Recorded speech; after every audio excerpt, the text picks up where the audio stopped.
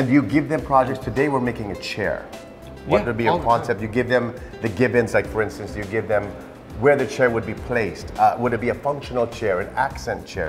Do you give these parameters first? Yes, for some, yes. Uh, as they as they progress, you know, the parameters, uh, we have more and more parameters. Mm-hmm. Yeah.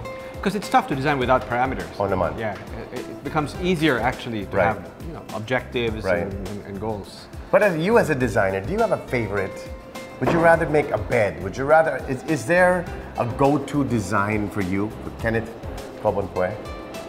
No, no. But No? the most difficult thing to design is a chair. Even better. Really? Yeah, Why so? Because there's just so many out there. you know? Okay. And you can't have, uh, you can't design them as like prima donnas Mm-hmm. because they always have to be in a group. Sure. Yeah, five, and people always sit on them, and they have to come at a certain price point. Yeah. So that's the toughest. The toughest thing to design is the simplest thing in life. Even someone in your position, you still think about who can afford it, who can't afford it, the Oh, yeah. demographics of it. Oh yeah, oh yeah. It's important. Because it's design, you know, it's not. Right, right. It's not art. Right? What is the most important thing though for you, for in your world of design? Yeah. What is the most important thing that we can learn? I mean, especially your, the ones you mentor. Go, you, if you can't go out of here a great designer, Yeah. go out of here knowing what. Everybody has the capacity to create something that's truly different and unique in the world of design. Mm-hmm. I always say that the world doesn't need another chair. so if you can't make it different, if you can't add something to it that makes it Right. you know, um, unique and, and your own, then there's no Mm-hmm. point in doing it.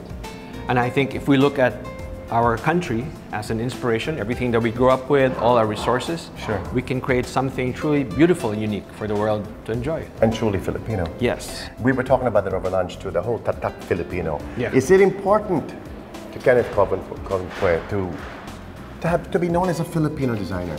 How important is that in the world? Yeah. It's important for me, Okay. okay. But I can't say that for everybody else. Right. It depends on what they want to do, what they want to Right. accomplish.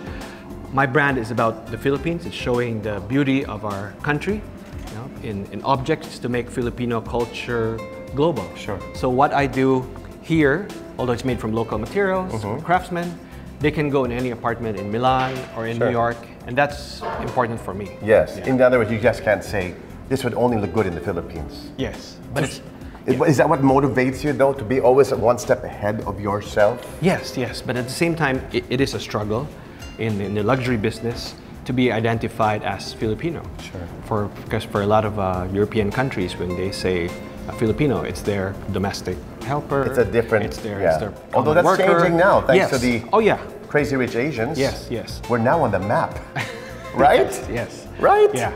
And uh, yeah, that's, that's what I'm always up against. Yes. How would you say the evolution of design has changed things for the Cobonpue label? Oh yeah, it's uh, become very competitive now. Okay. Because we were the only game in, in Asia then. Sure. Everybody bought their furniture from the Philippines, and now we have all the other countries around us making uh, equally as good, if Right. not cheaper, Right. furniture. Right. So we have to compete you know, in terms of design, Sure, sure. innovation.